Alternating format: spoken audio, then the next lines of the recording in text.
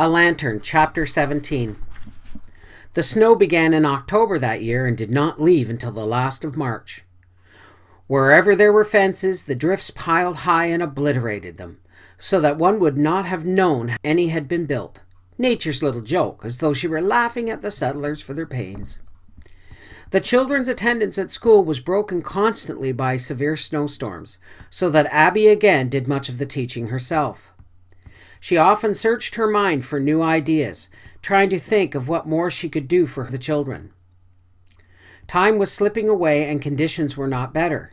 Even if she must face the hard fact that she could never do anything more for herself, the children must have some of the best things of life.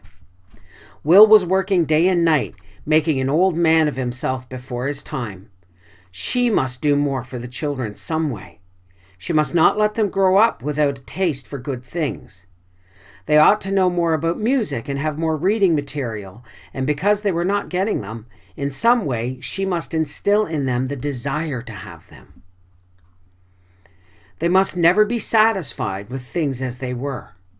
Even if she and Will were to live in a soddy all their lives, cut off from those things, the children must want to have them. If the desire were deep enough, they would find a way to seek them out as they grew older. She began getting down the Shakespeare plays for a while each evening, and requiring Mac and Margaret to learn a passage or two. Over and over she made them repeat. The quality of mercy is not strained. It droppeth as gentle rain from heaven upon the place beneath. Or perhaps, there's a divinity that shapes our ends, rough hew them how we will. Mac protested. Aw, shucks, I don't see any sense to them. It's for your own good, Mac, she would say. Some day when you're older, the meaning will all come to you, and you'll be glad you learned so much of them. But Mac was more interested in his old brass horn.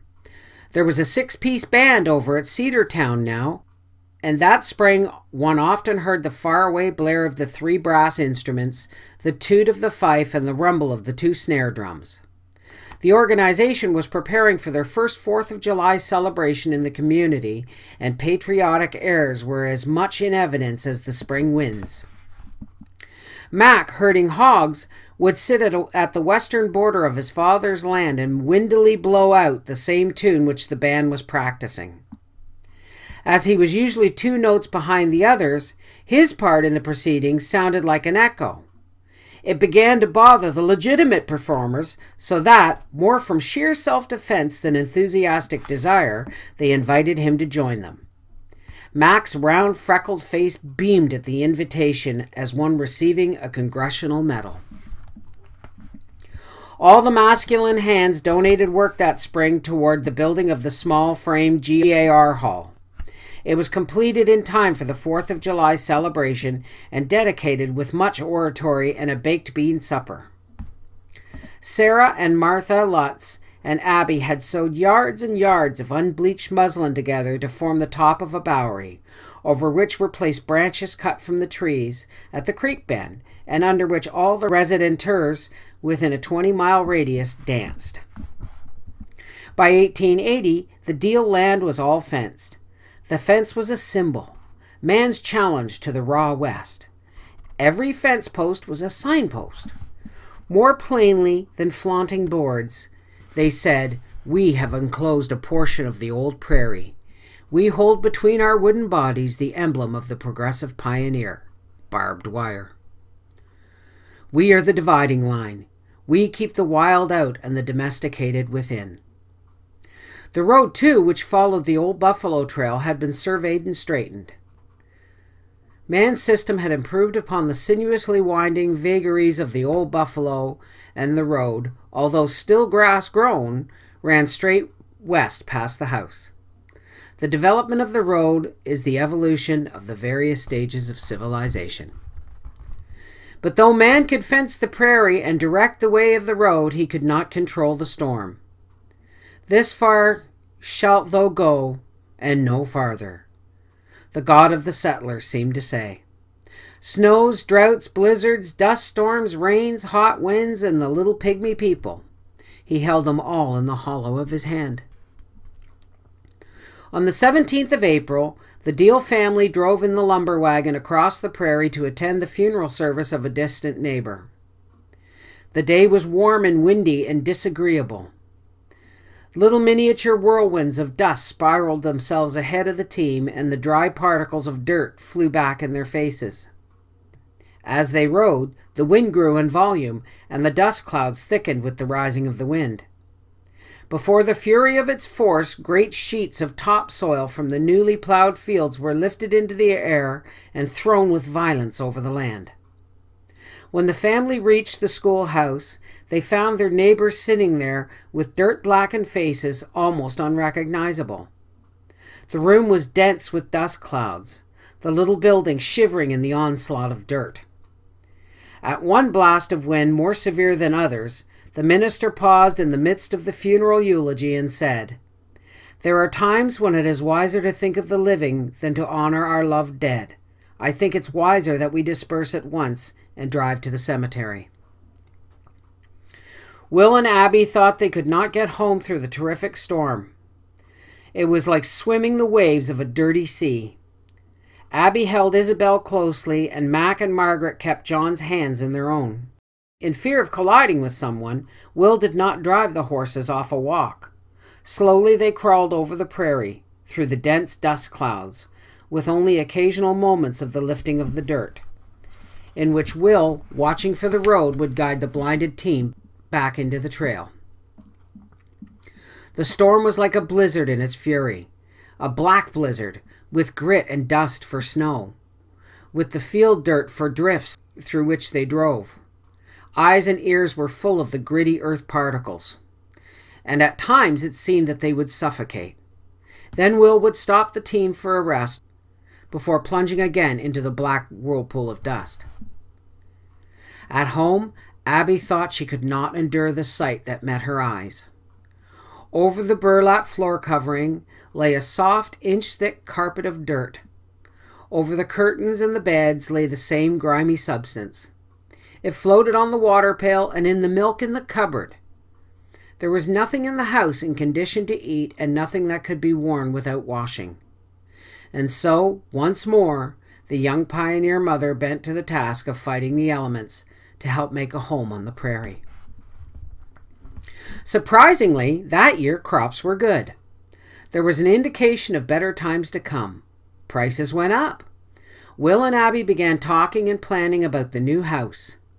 No, that is not quite true. Abby began talking and planning about the new house. It is the woman's prerogative. Mac was 13 now, Margaret 11, John 8, and Isabel 3. They were getting too old to be packed in like little chickens in a coop, Abby said. Every moment that was free from the ever present hard work, she sat with pencil and paper and drew plans for a house. Even if it's just a few rooms at first, she would say to Will. They'll be nice, and we could plan it so they'll be added on to as time goes on.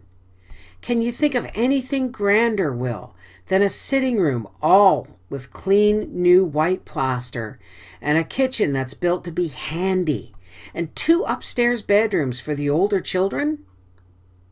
I'd like to do it for you, Abby girl. Maybe we can if I do a lot of the work myself.